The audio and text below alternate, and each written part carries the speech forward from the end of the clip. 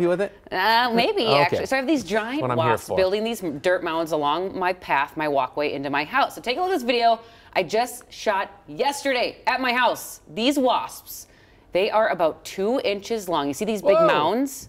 They're everywhere. They're littering my path.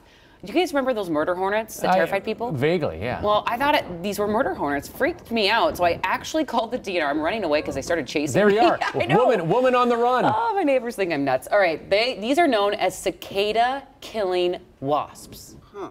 they kill cicadas so that you know they're not going to hurt people um, so if you're unless you're a cicada you're you're pretty safe and the males um, will sometimes dive bomb people i don't know if you've experienced that but they don't have stingers so they they can't hurt you at all um, and the females um, go out and forage for these cicadas which they feed to their brood their young um, living under the ground in those tunnels that you're seeing Oh, nature. It's that was harsh. Jessica Peterson. She is the invertebrate ecologist with the Minnesota DNR. So take a look at this video right now.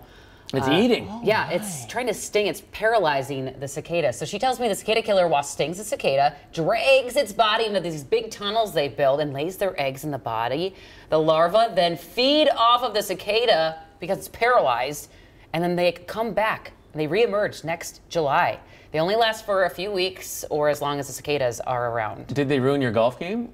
Yeah, no, that was video I found actually from YouTube because I wouldn't get that close. They terrify me. So when I asked her, how do I get rid of these darn wasp killers, she said, don't. Don't? They're nice. There they don't have Nice. stingers. Keep them around.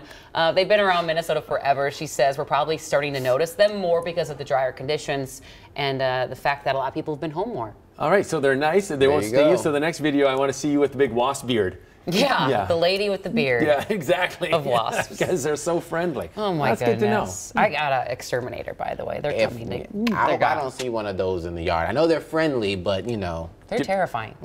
Okay, let's dive into the comments section.